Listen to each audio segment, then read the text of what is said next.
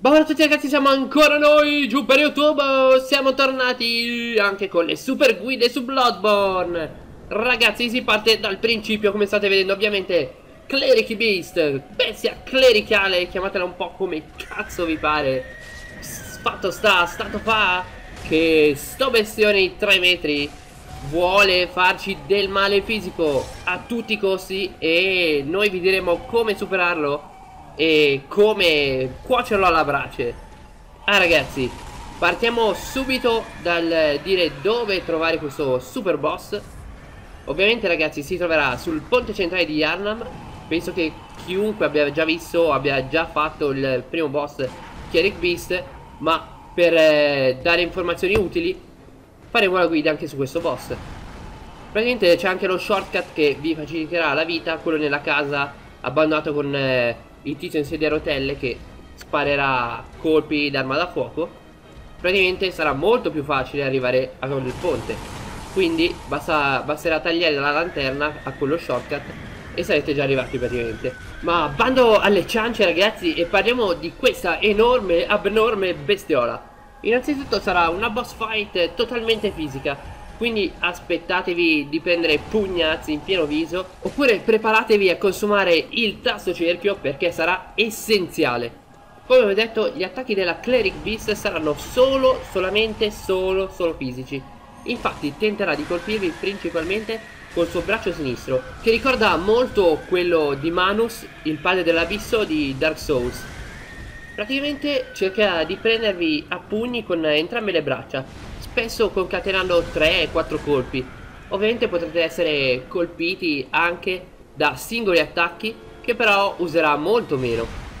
Un altro attacco che userà spesso, soprattutto se voi sarete abbastanza lontani, sarà l'attacco con slancio, nel quale pianterà una mano nel terreno per poi lanciarsi verso di voi tentando di schiacciarvi, come state vedendo in questo momento, con l'altra mano.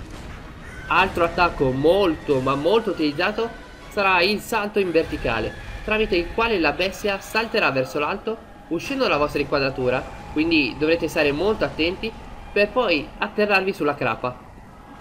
Infine ragazzi, il boss potrà fare la solita presa, che si vede praticamente in quasi tutte le boss fight, abbastanza potente, con la quale vi sbatterà per terra senza sentire ragioni, facendovi ovviamente abbastanza danni. Detto questo, veniamo adesso alla strategia migliore per affrontare la bestiola. Prima di tutto ragazzi vi consiglio di portare con voi il massimo di fiale e proiettili, onde evitare situazioni spiacevoli.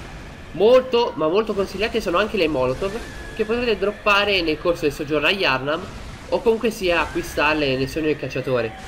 Per quanto riguarda il combattimento, vi consiglio di concentrarvi maggiormente sul braccio sinistro, e cercare di attaccare dopo aver schivato le sue manate, una cosa da non fare sarà la loccata. Infatti ragazzi non dovrete assolutissimamente loccare In qualsiasi caso. Infatti come state vedendo dal mio scontro Lo sto tenendo loccato Ma sto facendo una fatica incredibile. Appena si avvicina il mostro È veramente un parto Come state vedendo un parto non si vede mai un cavolo Di quello che vuoi colpire E quindi è veramente difficile. Quindi il consiglio che vi do è non loccate O fate loccate meno possibile Onde evitare casini con la telecamera in quanto ovviamente l'arena sarà un buco, cioè praticamente il ponte, e spesso si incastrerà la telecamera tentando di, di capire quello che succede e non, non capite più una sega. Come vi ho suggerito in precedenza, portatevi con voi un po' di molotov, molto efficaci contro questo nemico, e avrete anche la possibilità di stannarlo. Sì ragazzi, potrete stannare il boss, dopo un po' di colpi sullo stesso arto egli rimarrà indifeso per qualche secondo e voi potete tranquillamente colpirlo.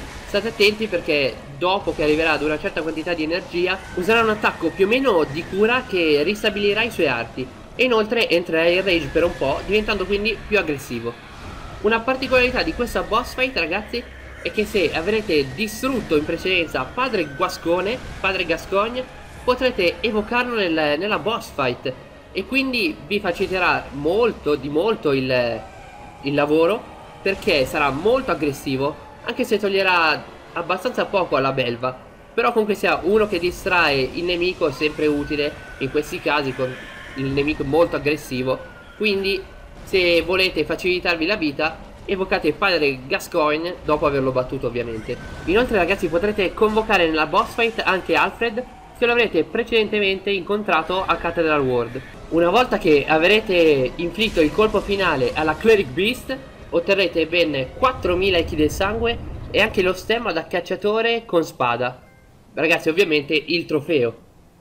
Bene ragazzi spero che questo video vi sia stato utile. Mettete mi piace commentate condividete. Noi ci vediamo al prossimo video a paura su Bloodborne e anche alla prossima guida su Padre Gascogne.